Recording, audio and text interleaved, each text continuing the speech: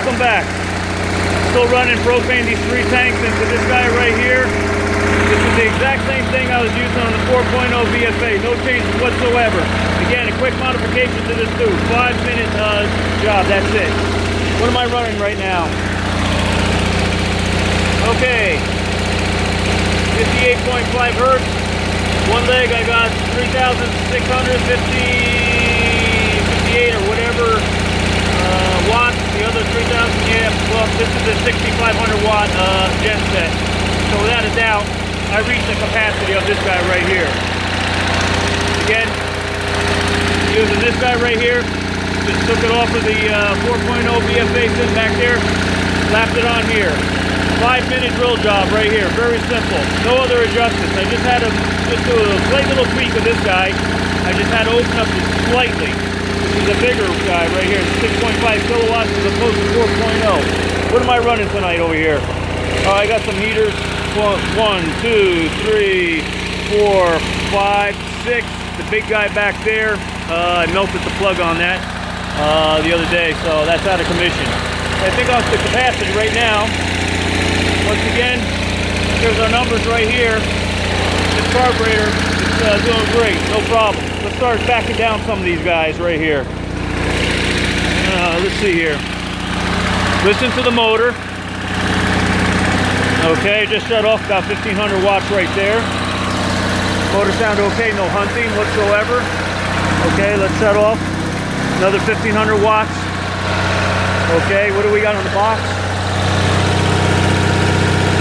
Okay. All right, let's shut some more off over here. I guess I'm just gonna start pulling plugs. All right, think I showed up this piece of crap. Again, the motor, you know, slight variation, not bad. And, uh, listening for hunting and things like that, some abnormalities, but so far sounds pretty good. What else do I got plugged in here? I don't even know. Uh, unplug this guy right here. I think it's that guy. All right. So uh, what are we down to now? All right, not bad. What else we got going here? I don't know. Let's see here. All right. I heard a slight variation in the motor, but still no hunting. What are we down to? All right, good. And is anything else plugged in? I don't know. Oh yeah, we had this guy right here. Motor sped up just a slight bit, but it leveled out. All right, again, running propane. I was able to reach full capacity with this uh, 6.5 NH. Once again, it's a gasoline model uh, with a Nikki carb, gasoline carb. Uh, the only thing we did was throw this uh, contraption on that I uh, whipped up in my garage. The only modification, I just had to drill a hole in the tube. Here, I'll show you on this guy right here. You see that? You see that hole? You see it down in there? That's the choke. It has to be done in uh, the right spot. So when uh, you stick the uh, contraption in, it'll open up the choke automatically, as you can see. All right. But again, the only modification you need to make to your genset is to just to drill a hole in the proper spot.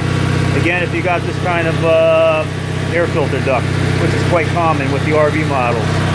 The 4.0 BFA ran perfect. I was able to bring this well over max capacity on propane. No hunting, no problems whatsoever. Just took this uh, contraption off, threw it on here. Uh, after drilling the appropriate hole, which took five minutes, I most of the uh, time was measuring out. It runs perfect, no problem whatsoever. This is the original cap right here that was on my 6.5 NH. But again, once you make one of these, all you need is this guy right here. You'll probably get off a junk uh, gen set. Just whip it up, you know, by uh, drilling and putting in the appropriate apparatus. And even the demand regulator, although it's on this guy right here, not causing any problems with vibration. But ultimately, I do want to put vibration dampeners, no question about it. This is just a uh, quick five second type of uh, prototype, if you want to call it that.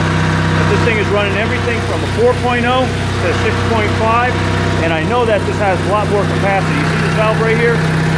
Okay, if I uh, go like that all the way up, then I'm going to get full flow. Okay, as you can see, I'm not near full flow yet. If I was like here, it'll be shut off. So pretty much, I'm only halfway. So this thing, without a doubt, is going to run anything, any of these gen sets whatsoever, uh, regardless of uh, of wattage. The main thing is that you have this type of ductwork. All right. And again, this is a, a five second thing. The only thing that I had to spend money on was this guy right here, the demand regulator. All these other parts I had. This guy right here, this is nothing more than a three quarter inch uh, PEX valve. This is PEX right here, some rings, and just some uh, brass fittings, okay? Uh, I did post some uh, uh, pictures of the tube that extends into the carburetor. But again, this is a, a Nikki carb. The one on the 4.0 is the Walbro. It works equally as far as uh, adapting and opening the choke automatically so you don't forget to open the choke. And as soon as I pop it off and put the uh, original cap back on way over yonder, I can run gasoline and it'll be fine, okay? How long does it take to do the, do the switch from, uh, let's say, uh, uh, vapor to gasoline? Just these two thumb nuts right here pull it out, strap the original cap back on here, and uh, plug the uh, fuel pump back in, you're in business. All right, so this thing's working pretty good. Okay, that's about it. What else can I say?